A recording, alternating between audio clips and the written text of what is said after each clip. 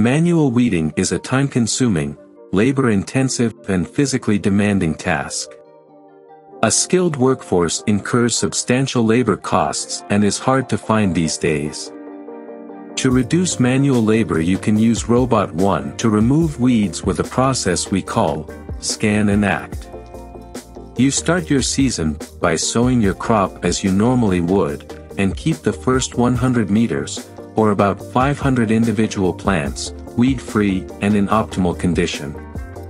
This is reference for Robot 1, as it learns from your example. When scanning the soil, it sees what plants you removed and what plants you keep as your crop. As the plants grow during the season, so does Robot 1's understanding of your plant variation. Robot 1 generates a GPS map of individual plant locations and updates this map every run. You can decide to use streamers for in-row weeding or lasers for pinpoint accurate application. Scan and act with Robot 1. Step 1.